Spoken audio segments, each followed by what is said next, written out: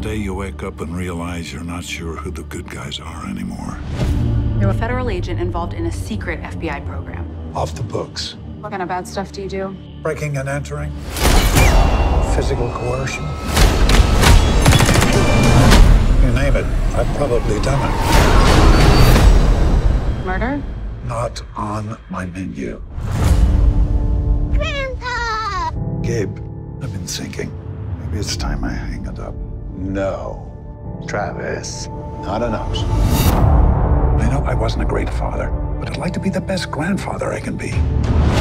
Natalie doesn't need a fixer like you. I've been writing about the story for over a year. The United States government is killing innocent civilians under the guise of protecting democracy. Under whose orders? The director of the FBI. How many more have to die for you to stop looking the other way? You need to come clean, Gabe. You're confused about our relationship. You are my weapon. You work for me.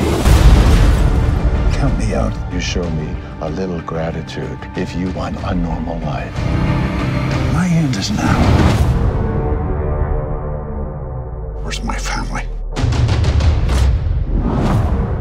Out you had anything to do with my granddaughter disappearing, you're gonna need more men.